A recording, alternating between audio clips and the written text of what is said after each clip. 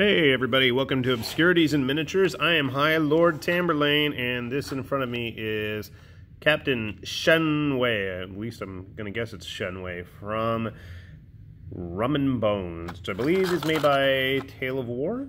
That sounds right. Anyway, I really like this model, and he was part of the Kickstarter for the Rum and Bones board game.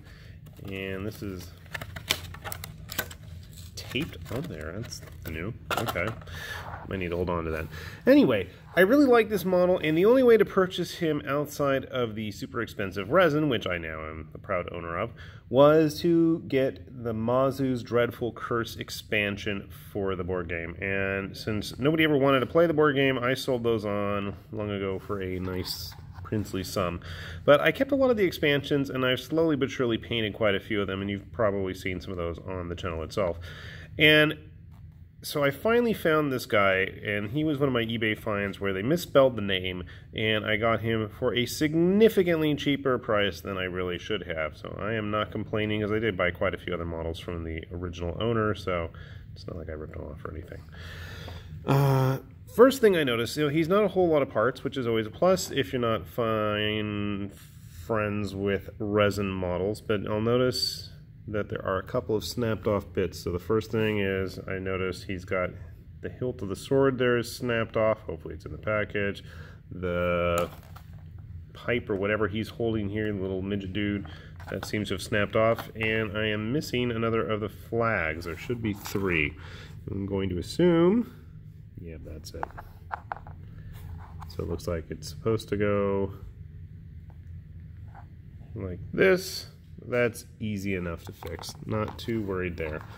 And then this teeny tiny little piece, I have absolutely no idea. I don't know. Where is it supposed to go? It doesn't look like the pipe thing, and there's nothing else in the package, so... Hmm. Maybe? It kind of makes sense. The detail on this is quite nice, and most of the Tale of War models I've built actually are metal. I built a couple plastic, not plastic, metal, uh, resin ones. I get the right word out of my mouth eventually here. But overall, I'm quite pleased with this. There's just a lot going on there. Is that the sword hilt? Hmm. If you guys have any ideas, let me know.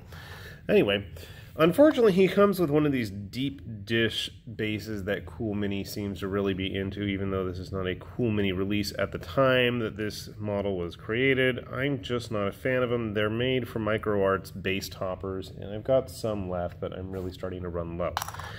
How does he stack up compared to other Rum and Bones models, though? I don't have any of the other resins. This is my very first resin one.